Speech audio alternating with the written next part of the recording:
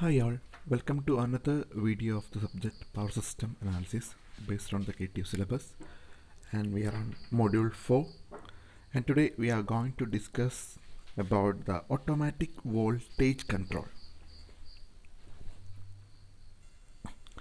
So this is the schematic diagram of alternator uh, voltage regulator scheme. So here uh, you can see this is the uh, generator and uh, we are controlling the output of the generator the voltage output of the generator by uh, controlling the field. And here we are taking a, a voltage feedback using a potential transformer. And this uh, feedback to uh, reference voltage that is here. The, um, the feedback voltage is actually the terminal voltage of the generator is compared with the reference voltage. And then uh, error is developed there and from that uh, the array is amplified using an error amplifier and uh, uh, further an SCR power amplifier is also used to enhancing the power output.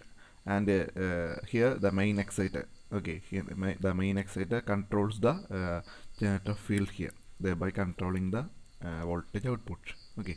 So this is the schematic diagram. Here mm, and the function of the main important components okay and their transfer function uh, we can discuss in the next slides. And mainly the entire system is a type 0 system which requires a constant error E for a specified voltage at the generator terminals. Okay.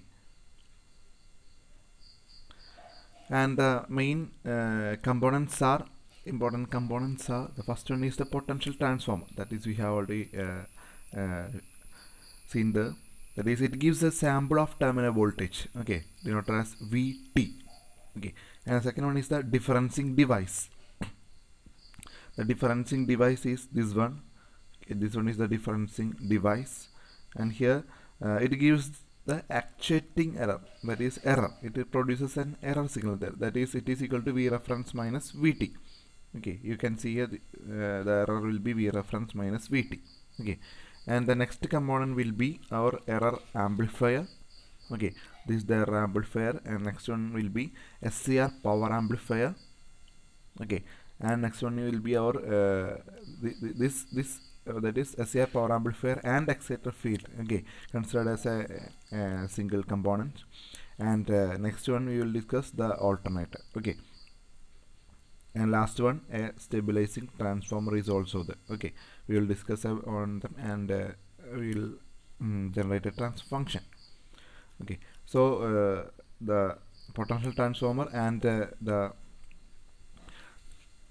error differentiator. Okay differencing component differencing device we have discussed. The next one is error amplifier the error amplifier it modul demodulates and amplifies the error signal. Okay and its gain is denoted as ka. Okay so this mathematical representation we will be using uh, at the end for uh, generating the block diagram of alternator voltage regulator scheme. Okay using this uh, the gain components and all we will develop a block diagram. Okay so this is the error amplifier and next one is the SCR power amplifier and exciter field. Okay both are uh, considered as here. So uh, it provides the necessary power amplification to the signal for controlling the exciter field. So here you can see this is the SCR power amplifier. And uh, it provides the necessary power amplification to the signal. That is the error signal uh, the output of the error amplifier. Okay. So this will uh, control the exciter field here. Okay. So uh, the exciter field. Okay so this is the main exciter.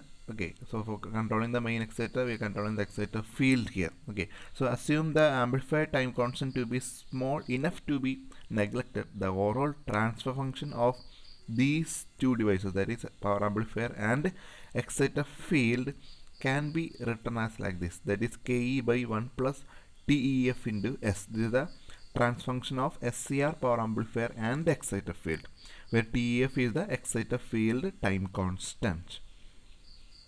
And next one is the alternator that we know. Its field is excited by the main exciter voltage VE okay? And uh, under no load it pro produces a voltage proportional to the field current okay?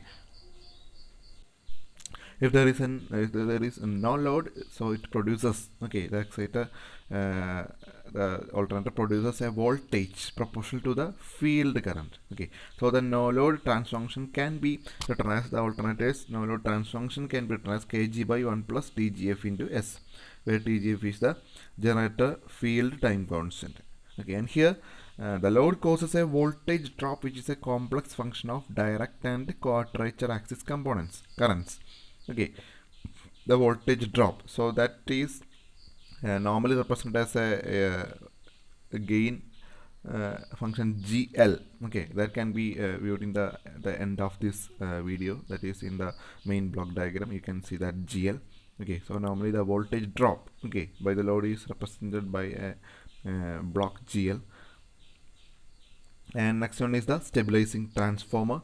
So here the uh, time constant TEF and TGF okay that is we have already this is the TGF and this is the TEF uh, SCR power amplifier and alternator are large enough to, to impair the system's dynamic response okay? And uh, it is well known that the dynamic response of a control system can be improved by the internal derivative feedback loop okay? So by providing a feedback loop we can improve the dynamic response so the derivative feedback in the system is provided by means of a stabilizing transformer excited by the exciter output voltage VR okay exciter output voltage. So here uh, you can see that is uh, you can see here that is the uh, exciter voltage. Okay a stabilizing transformer is uh, excited by the exciter voltage VE here. So this can be improved the uh, dynamic response of the system uh, thereby that is we are using a stabilizing transformer there okay. Then the output of the stabilizing transformer is fed back, fed negatively at the input terminals of the SCR power amplifier and the transfunction of the stabilizing transformer okay.